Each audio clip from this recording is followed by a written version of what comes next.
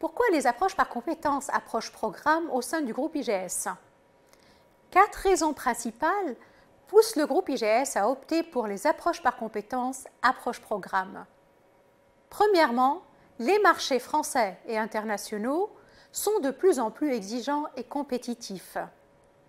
Pour recruter, les entreprises sollicitent des apprenants diplômés ou des stagiaires avec des têtes bien faites et non pas bien pleines.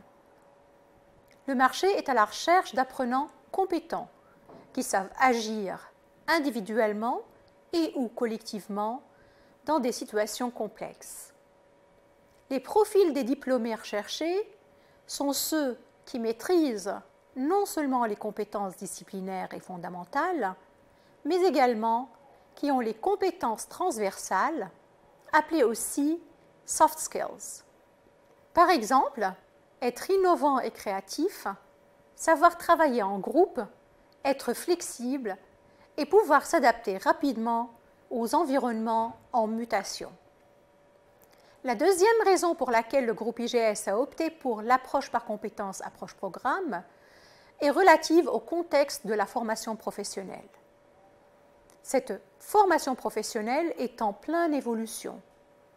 Au sein de l'enseignement supérieur français, nous assistons d'une façon continue à de nouvelles réformes, à de nouvelles exigences réglementaires de l'État français, des entreprises, des clients, des financeurs et autres.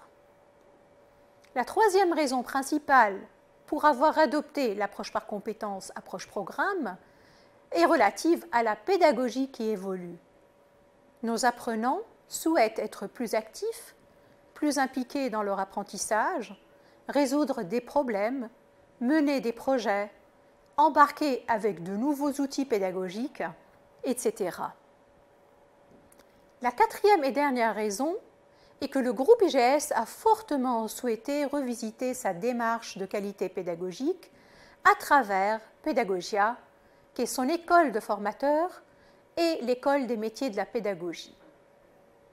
Le rôle de Pédagogia est de s'assurer de la qualité de l'innovation pédagogique de la formation des formateurs et des personnels pédagogiques, mais également d'implémenter les approches par compétences, approches programmes, et de veiller à une professionnalisation de parcours axée sur des compétences concrètes, évaluables et certifiables. En conclusion, il est plus que temps de s'approprier ces approches compétences, approches programmes qui répondent aux exigences qualité que se donne le groupe IGS.